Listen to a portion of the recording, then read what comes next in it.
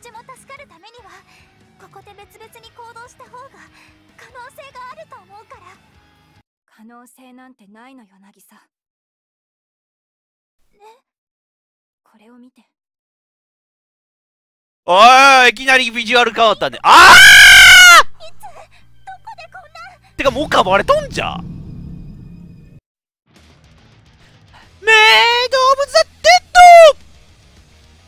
やあ佐々木健介だよ。今回はこちらのゲームメイド・オブ・ザ・デッドやっていきたいと思います。このゲームはですねえー、ウイルスによって多数のゾンビがうごめく街をメイドたちが戦い抜き生き残りながら進んでいくゲームです。いわゆるえー、全方位アクションシューターってやつで、要は上から見下ろして、四方八方からやってくるゾンビたちを退治しながら進んでいく系のゲームになりますね。このゲームのメーカーがね、えー、キュリエイトさん。キュリエイトっていう、まあ世の中ではちょっとエチエチな様子が混ざっているゲームをよく作るということで定評のあるメーカーなんですけど、こちらの新作です。でもね、多分ね、エチエチなことを抜きにしても面白いゲームなんじゃないかなと思いますので、今回やっていきたいなと思います。いくぜ早速、ニューゲーム。今、スイッチ版がね、プレイできるようになってから10分ぐらいの頃に、10分ぐらいですね、今。ダウンロード版がプレイできるようになってから。それは何の前触れもなく突然起こった何が起きているのかを理解する暇なんてないただなぜか急に正気を失った人たちがたくさんいて他の人を襲うようになったことだけは分かった。パンデミックが起こったとこやな。日常が音を立てて崩れていく。私たちはただ逃げることしかできなかった。あよくある導入ですね。ゾンビものの。わーっといかにも秋葉原って感じやなこれ。いかにも秋葉原っぽい感じのやつがちらほらおるね。一番右の地位牛的な人とかメイドとか。もうすでにメイドがゾンビになってるようなところもありますからね。諦めちゃダメだよリンカちゃん。他にも逃げ道があるかもしれないし。え分かってる。割ともうそれなりに臨戦態勢な状態になってる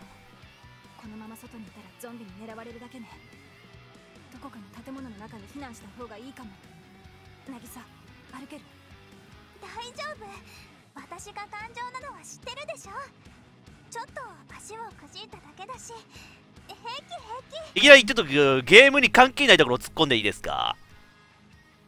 後ろのこの辺とかさ結構キュリエイトさんのゲームのキャラクター映ってません？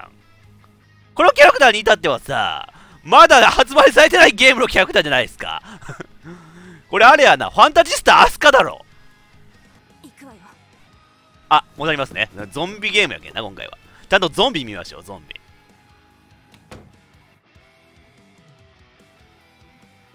りあえず、ここなら少しは隠れていられそうね。もうめちゃくちゃ荒れとるもんな。そうだね。ここでちょっと休憩させてもらっちゃおうか。まずこの2人からスタートするんやな。然平気そうには見えないわよ。足をくじいただけでそんなに顔色が悪くおや？これはちょっとやばいんじゃないですか？今すぐ体中全部見て髪跡とかないのか確認した方がいいやつじゃないですか？平気だってば。足をかばいながら走ったからちょっと疲れただけだもん。ゾンビモードで平気平気言いまくるやつは大体平気じゃないんだよ。後でゾンビになるやつなんだよ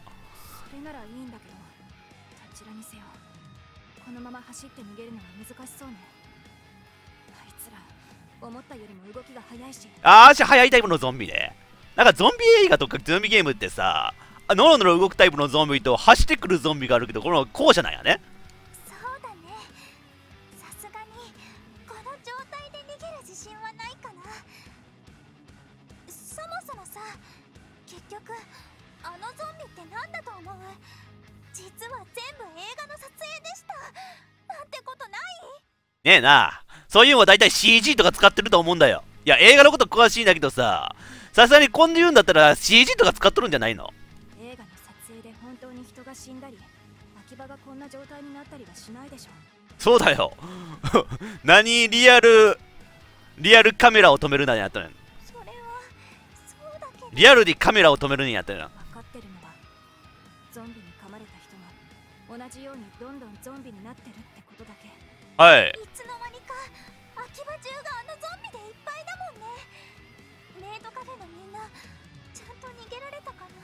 うん。私たちはチラシ配りで外に出てたしお店の状態あー、なるほどね。無事を祈るくらいしかできそうにないわあー、店の状況がわからんけんな。時期にここにもあいつらが集まってくるどうにかして安全な場所に避難しないとねこれどういう経緯で武器取るんだろうな、手に。私のことはここに置いていってよえ？こんな時にふざけたこと言わないでそうだよ僕ら3人で一緒に脱出しないといけないやん、うん、あたかも俺も当事者の感じにちょっとロープレしてみようか。この足じゃ私は逃げられない。でもリンカちゃんなら走れるでしょ？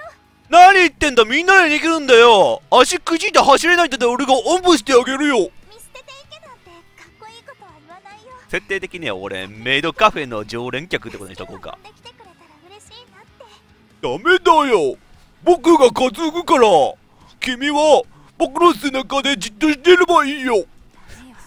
ダ メイドカフェの常連への対しての偏見きつい喋り方しとんな俺。えー、そもそもどこ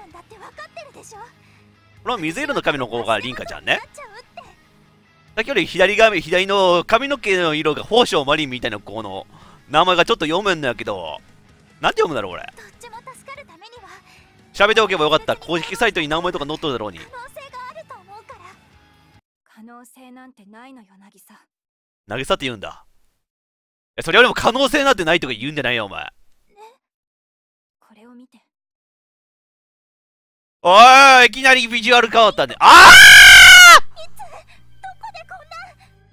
いやごめん。そうそう右下のパンツの方ばっか見てたわ。これウィンドウオフできる？あウィンドウでオフできる。わーい！はいウィンドウが邪魔なウィンドウがなくなりました。てかもうかばれとんじゃ逃げてる途中。揉み合った時に噛まれちゃったみたい。もう体が自由に動かなくなってきてる。もう一貫の終わりのやつじゃないですか。いつかはあのゾンビたちみたいに正気を失うわそうなったらあなたのことを襲うかもしれない。だから私はここでお別れ。少しでも多くのゾンビをおびき寄せて遠くへ行くわ。自己犠牲の精神。そそんなことしなくても大丈夫だよ。病院に行けばきっと治してもらえるから。いや、大体こういう物語ってさ、病院機能してないんだよな。一旦生存者の隠れ身の犬はなるかもしれんけどさ、お医者さんやって生き残るかどうか。さごめんね生きてあなただけでも生きるあなたは、つ、そなたは美しい。もののけ姫できましたよ。リンカちゃんレンカちゃんが一人で大人になることを決意しました。これで別行動になってしまうんじゃ。私はただ離れていくリンカちゃんの背中に向かって手を伸ばすことしかできなかった不安やぞ。こんな状況でさ、一人っきりになるなんてすごい相当不安やぞ。できれば一緒にいてほしかったなっていう感じじゃ。親友の女の子っぽいし。なんだ？よかった無事だったんだねちょっとこれ、バックの真っ暗さっていうか不気味さを出してるね。そういう演出してるね、これ。リンカちゃんちょっと待ってどこに行くの待って待ってよああ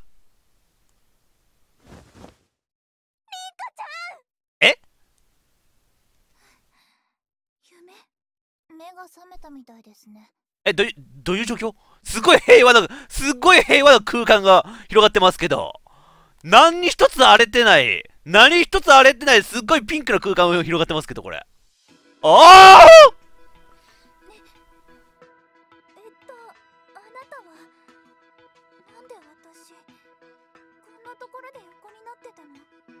メガネっ子。メガネっ子をやってきました。なんか遊戯王でこんなもん、女の子のモンスターカードを当たったような気がするんですけど。それはさておき、なぜそんなに大胆にパンツを見せて消える君は。あとな、ね、あれもしかしてこのゲームのさ、キャラクターのパンツってさ、髪の色と統一しとんかな？みたいな色のパンツを履いてる。こんな緑のパンツの人おるんじゃっていう感じじゃ。少し混乱しているみたいですね あんなパンデミックに巻き込まれて正気でいることの方が難しいとは思いますがなんか気を失って、ここに運び込まれたっていう展開かな、これ。パンデミック私は三鏡カノンカノン。このお店を拠点として使おうと思ったんですが先にあなたが店内で倒れていたので保護させてもらいましたああ、そうかい。お店あそっかここ私とリーカちゃんが働いてたメイドカフェなんだ戻ってきとったんじゃ。人がおらんけど、なんか荒らされた形跡がないってことは、あんまり被害受けてないんかなとりあえず、うまいこと避難できたっていう、ちょっと安心、もしかしたら大丈夫かもしれないみたいな安心感がちょっと、この部屋見たら取れそうな気がするけど。リンカちゃんと別れてから無意識のうちにこんなところまで一人で逃げてきてたんだ奇想本能ってやつじゃ。犬か？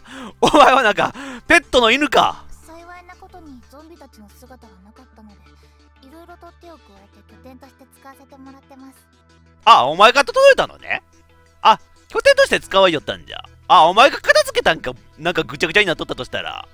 あ、だったらちょっとやばいな。みんな大丈夫かな？一人で片付けたん？おい、もしゾンビに襲われてぐちゃぐちゃとなっとったんを片付けたとしたらもう片付けるレベルじゃないね。なんかリフォーム行っとるだろ、お前。髪とか修復とかしたんじゃない？っていうぐらいきすっごい綺麗なんやけど。防衛用の改造と拠点機能の整備には長きにかかりましたがゾンビたちから身を守れるようにはなっているはずです。お主何者？改造言っちゃった。防衛のの改造とか言っちゃった。博士キャラクターなんかなこれ。確かに。いつものメイドカフェとは様子が違うね。ちょちょっと待って丸一日って言った。はい。正確にはあなたを発見保護してから28時間32分が経過しています。いやだいぶ割と経っとるな。そんなに？あれから秋葉はどうなったの？そんだけ時間が経ったら感染者の数増えとるだろうなだいぶ。外には出ない。通理に戻りましたね。秋葉に発生したゾンビたちはまだ増え続けてますから。そうよな。だったらなおさらのんびりなんてしてられちゃんが友達がまだ外にいるかもしれないんだよ。早く助けに行ってあげないと。勝手なことをされては困るんです。日原渚さん。どういうことだ？私名前とか言った？言ってないね。あれ何？俺生徒手帳生徒手帳みたいなの見られた？学生か知らんけどさ。あ学生だったわ。俺の予想全く思ってビンゴでしたわ。高校生なんかな？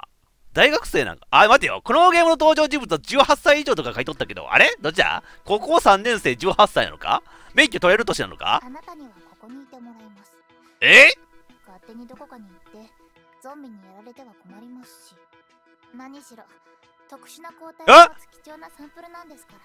そういう感じなんじゃ。この子。なるほど。サンプル？サンプルっていう言い方はちょっと気に食いませんけどねそうか。得意体質的なところあるんか？とても貴重なサンプルです。渚さんはゾンビたちがなぜ出現したと思いますか？サンプルだと。日本語にしたら寺じゃないか。テンプルだよ。そりゃあ映画とかでよくある未知のウイルス的なやつでみんな感染しちゃったとかそういうのかなと思ってたけど正解です。あ正解かい。秋葉で発生しているこのゾンビ騒動はウイルスによるパンデミックが原因だと考えられます。わざわざ問題にしたわけでさ実は違うんじゃないのかみたいなことちょっと勘ぐっちゃったけどさ別にそんなことなかったわ。現時点で把握できている限り感染経路は一つ。はい。何らかの方法でゾンビの体液が体内に侵入した場合です。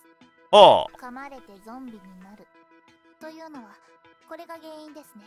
うんうん。ゾンビのよだれや血液が体内に入るだけで感染してしまいます。この辺はまあオーソドックスかなゾンビ映画としては。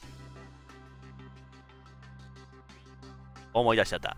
リンカちゃん観察できた限りではウイルスに感染した人は早くて数分。遅くても数時間で発症しゾンビ化します。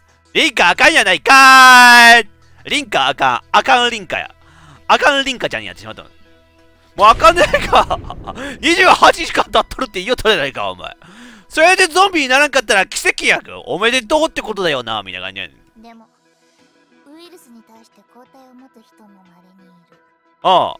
渚さんはその抗体を持っていることが分かったんです。なんでわかったんですか。勝手に私の体ジロジロ調べないでください。寝ているからと言って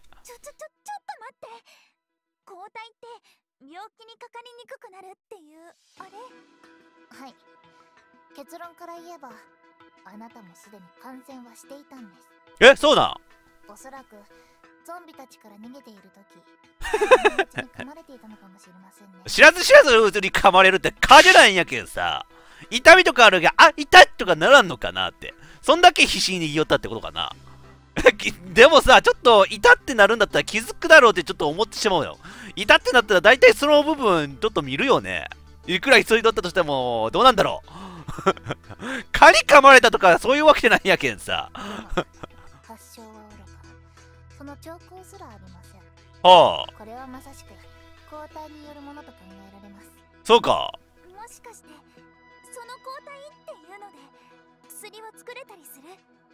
それができないかここで検証をしていました。ここ重要ですね。渚さんの血液から試作ワクチンを作りましたがここからさらに改良と臨床試験が必要になりますね。はすごい。そのワクチンがあればゾンビになった人も治せるんだね。いえそう便利なものでもないんです。あはあ完全なゾンビになってしまった人に対してはワクチンを投与したとしても救うことはできません。ああそういうもんなんじゃな。感染はしたもののまだ発症はしていない人あるいは感染していない人の予防が主な目的です。そっか段階点があるんやなやっぱ。それにこれはあくまでも試作品。こんな場所ではちゃんとしたワクチン開発なんてできません。臨床試験もしていませんし本当に効果があるかは未知数です。いや試作品ってさ大体さめちゃくちゃ効力発揮するんよ。ロボって言ったらさどれだけ試作機がさか本物の戦場で活躍したかガンダムやったらそうでしょう。がそれでもいいよ。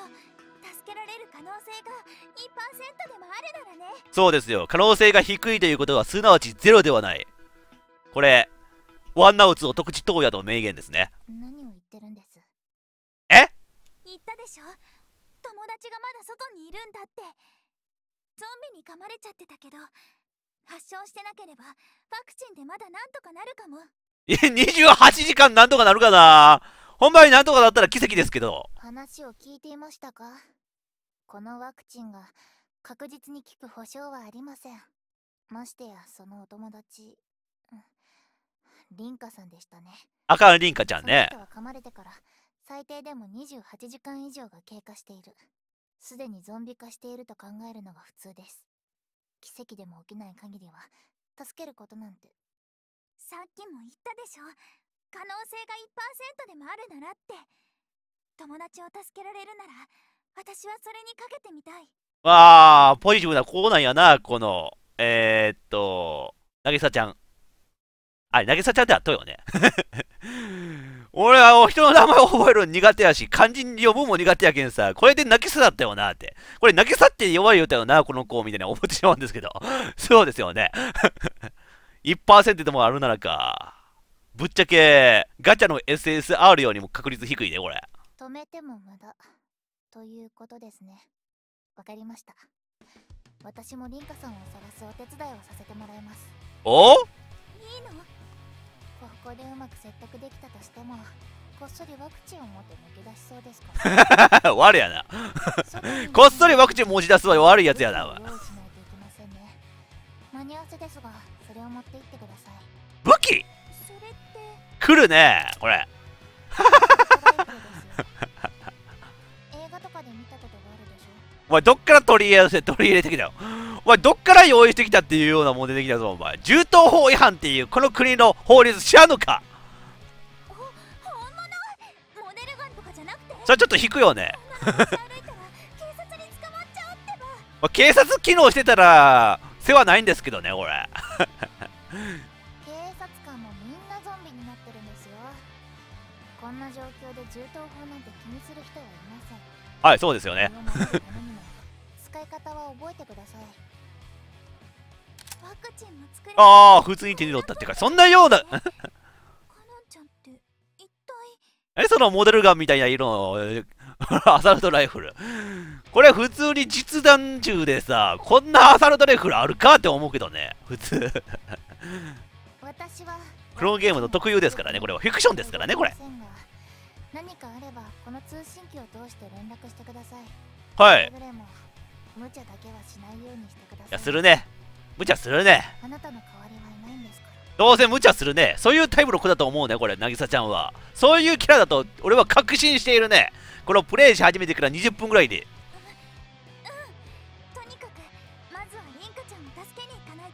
ああ。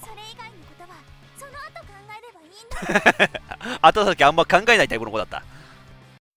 まあそうだよな。とにかく目の前の目の前のことに一級とこ来た。チュートリアルかこれ倒されないように移動してステージクリア条件を満たすようだとか言います。条件点があるんじゃ。ステージごとにクリア条件が違います。射撃は所持した武器の射撃は自動あ自動で行われるんじゃ。車線は移動方向とは別の武器にすることができる。L で、えー、で L ね。L で射撃方法とは別で固定できる。押し中固定か固定するしないの切り替え。ああエイムのだから APEX とかいうエイムの押した時にエイムするか切り替えるかのみたいな感じがあるんだろうなこれ。ちょっと慣れなあかんかもなこの手のゲームあんまやったことないんよな。近接攻撃もある。A で A か R で手持ちの武器が攻撃。攻撃一度攻撃すると武器ゲージが溜まるまで攻撃できなくなる。刺激弾。B のため操作に人気に刺激弾を撃ちます。敵の中にいるメイド姿のゾンビに当てると味方そんなことできるの？あ復活できるんやな。なんでゾンビだけだ？なんでメイド限定な？いや普通にいろんな人に使いたいけど数が足らんのか。でもなぜメイド限定なのだ？メイド優先という謎の条例が生まれてますけどまあ、め仲間は増やせるんやな、これ。仲間は即席で復活させれる感じなんじゃ。ただし、大きなゾンビには効きません。刺激弾はゾンメイドゾンビ以外は貫通されるため、車線に他の敵がいても狙えます。刺激弾は戦闘に持ち込める数が決まっています。また、消耗品のため、使ったら購入して補充する必要があります。そうか、そうか、そうか。だったらこのゲームを縛りプレイしたい人っては、この刺激弾使わずにプレイするみたいなのをおすすめできますね、これ。味方メイドは勝手に戦ってくれる。ダメージ受けすぎると撤退するけん。なるほど、味方メイドのカバーに入るっていう戦い方もした方が、できるだけ長く生き残っとった方が、手数増えるって感じやもんな。味方メイドは同時に複数で最大9体も結構フィーバーできるで。人数増やしたら結構フィーバーできるで。人数が多ければ多いほど攻撃手段が増えるなど強くなっていきます。おおおお敵多いわ。メイドごとに固有の必殺技もあって、それは X か ZL。結構2つ、2つ以上ボタンが割り当てられたんやな。えー、必殺エージは、時間経過で自動的に溜まります。えー、必殺スキルを発動すると、ゲージはゼロに戻ります。必殺スキルはどれも強力ですが、戦闘中に使える必殺スキル数は決まっている。なるほどね。ショットガンの必殺スキルは2位の炎上3回攻撃。広がる赤い円を A で止めると、ここに射撃。止めずに放置すると最大炎上を射撃。ちょっと、お、やりながら覚え方は難しいけどね。サブマシンガンは発動中のみ近接攻撃が前出し攻撃になる。武器ゲージ不要で連続で使用できる前出し攻撃。あとスキル選択ってもあって、敵が落とすパワーを収縮することでレベルが上がる。で、レベルアップ時にスキルを増やせる。あ、こういうテープの、戦いながらレベル上げて、レベル上がったらスキル増やせる感じね。そういうタイプのゲームか。戦闘中に所持できるスキルには上限もあると。でポーズで一時停止できたり撤退を選ぶと戦闘終了。そんなこともできる。まあステージごとにいろいろありますからね。ちょっと慣れながら操作を覚えとかなあかんわけねこれ。レーダーとかもあるんじゃ。タイムちょっと飲み物飲ませてください。行くぜとりあえず。とりあえずこういう感じで移動しながら戦って L でこう向き答えできるんでみたいな感じや。右スティックで向きを変えれるんでそれもうまいこと。5点バーストぐらいの感じやね。なんかガガガガガーってフルオートで打ってくれおらん感じ。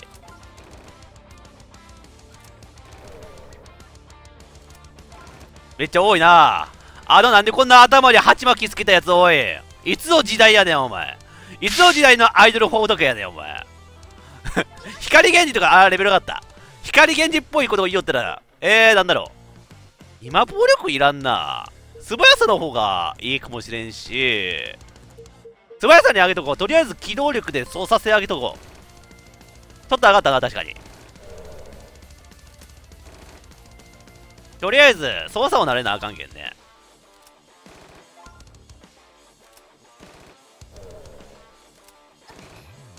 あダメだよ受けた。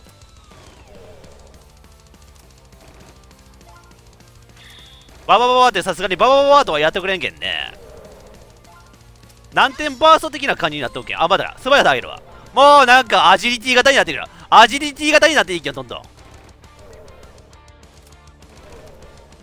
これこういう感じでおっとなんだ？またレベル上がった。えーっと何これ？何この電磁フィールドってすごいもん出てきたぞ。電磁波を生成する装置。何？三坂美琴的な感じの能力をさ もう機械的に行いよ感じ。触れた的にダメージ。わあめっちゃ便利なできた。でもちょっと待って俺の HP めっちゃ減ってる。必殺技を使っていきたいな。こっち側ちょっと手薄なんでこっち側をちょっと進んで回復アイテム取ってっていこう。効率よく当てれるようにせんかったらあかんな。慣れ方ちょっと当てにくい武器っぽい感じがする。なんだい？ドローン来た！なんかすごそうだドローン見て射撃方向に射出するだろう。付近攻撃してくれ。これいるいるいる。手数欲しい。手数が欲しい。こっち側突破しよう。えーっとそんでこの辺片付け。あーやばい。どんどん追い込まれていってる。ここはまだ手薄けんここ突破する。よし。よし。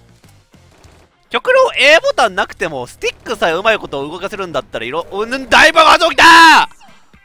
よーしじゃないなお前。なんか戦隊ものひ戦隊ものみたいな特撮ものみたいな爆発起きましたけど今。やったー。ランク S じゃん。敵を倒した数が結構多かったんかな？まあまあ、初回のステージですからね。こんなもんでしょ。これ、進んでいきよったらボス敵とか出てくるんだろうな。まあ、ゾンビの大軍としか戦ってないとさ、ゾンビの種類のバリエーションあるかもしれんしな。おっと、戦ってる、戦ってる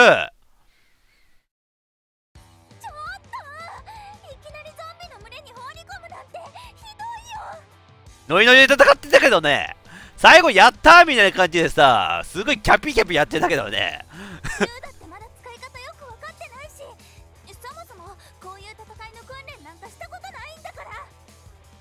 なぎさちゃん。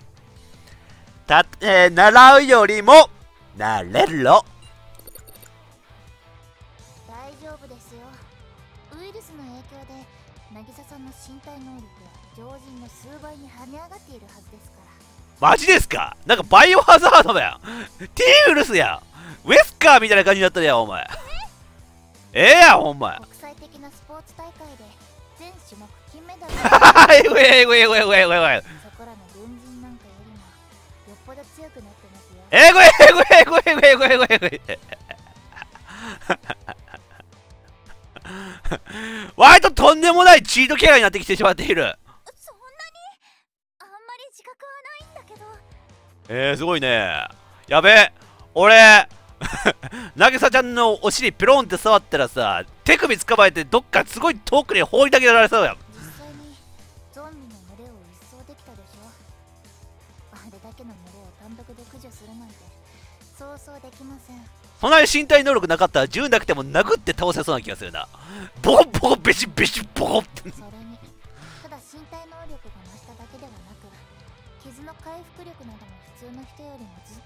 と上がっているはずです。そうなんじゃ。本当だ。ゾンビに引っかかれた傷がもう塞がってる。ウイルスに感染したからこんな風になってるってこと？正確にはウイルスに感染しながら特殊な抗体によって発症を免れているからというべきですね。ほう抗体の方が力強いんやなやっぱ。あくまでも治りが早くて丈夫になっただけです。切断されたりしたら元に戻りませんから注意してください。それ元に戻ったらほんま引くからなお前。怖怖すぎるよかのんちゃん。もうちょっと私を安心させてくれないかな。いや逆に考えてみ？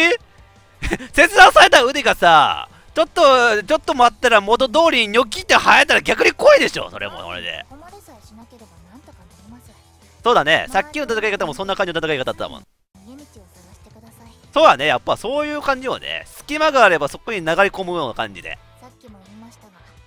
渚さんは貴重なサンプルなんです。あなたを失えばワクチンの開発ができなくなってしまうかも。ねえねえ僕は僕はワクチンの開発に必要かな？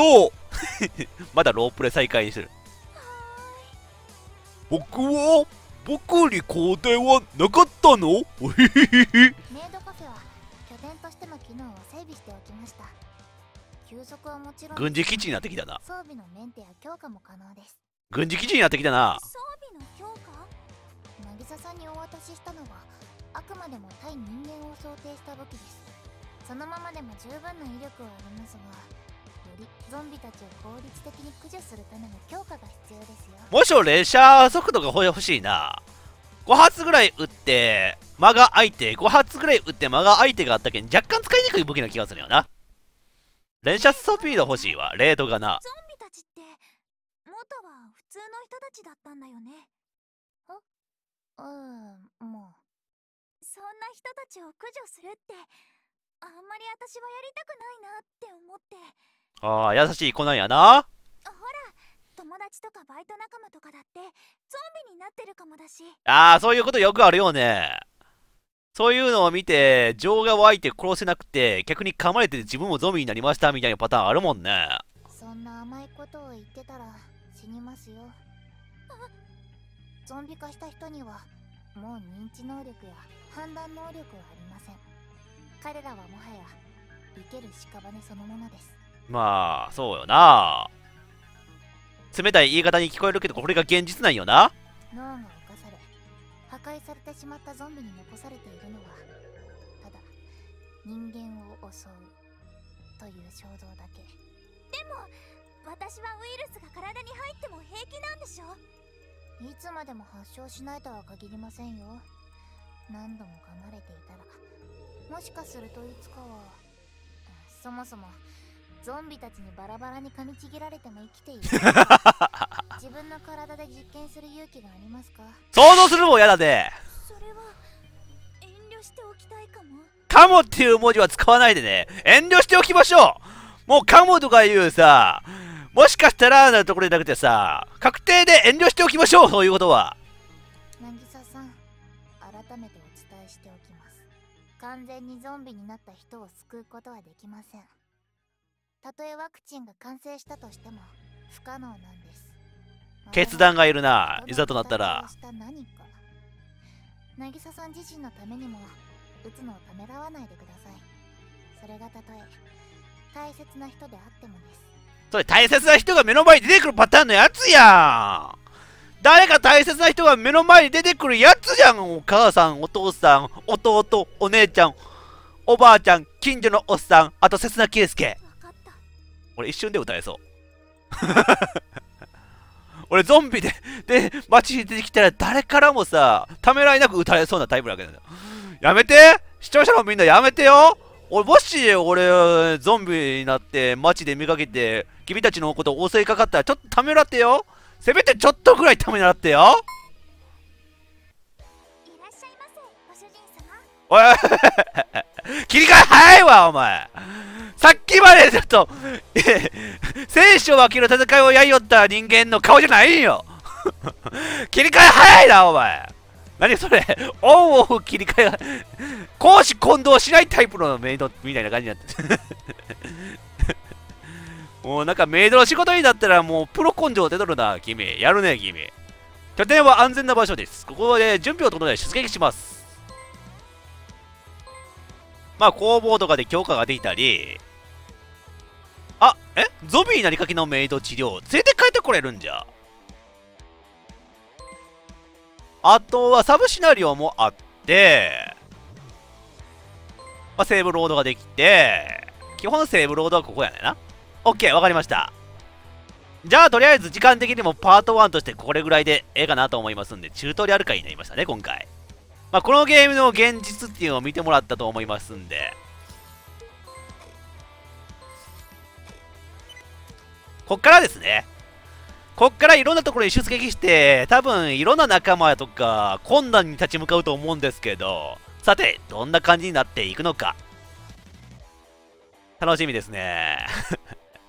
あと、まだあんまり、エッチなところが出てなかったんで、そういうところもキュリエイトさんのゲームとしては楽しみですね。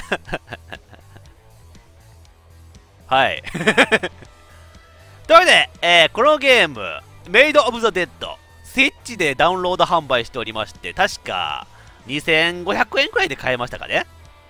もし興味がある方は、今日この動画を見て興味が出た方は買ってプレイしてみてください。というわけで皆さんご視聴いただきありがとうございました。お付き合い